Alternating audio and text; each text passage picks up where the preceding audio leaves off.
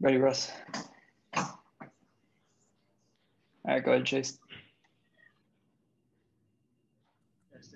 Hey, Russ, just um, what, what do you think made the difference for them there in, in the second half tonight?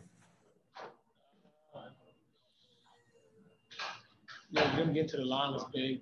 Uh, just some of our mistakes, unforced. Uh, really, think that we can control. And what'd you make of uh, you know Tobias Harris and, and the way he played? What you guys can adjust going into game two? Uh, we watched the film and figured it out. Fred.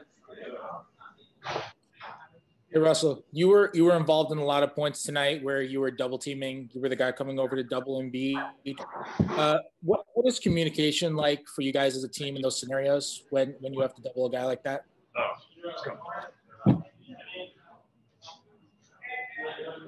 What's your question, Fred? You you were you were one of the guys coming over to double Embiid a lot tonight.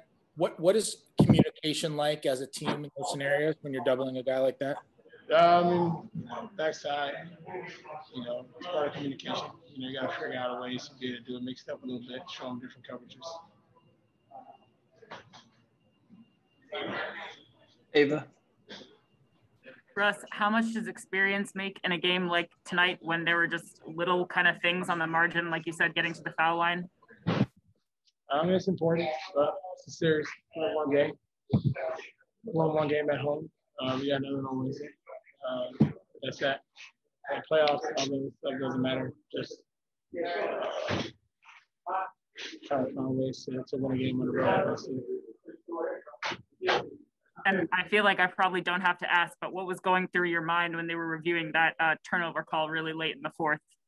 Yeah, I mean, it is what it is. Chase.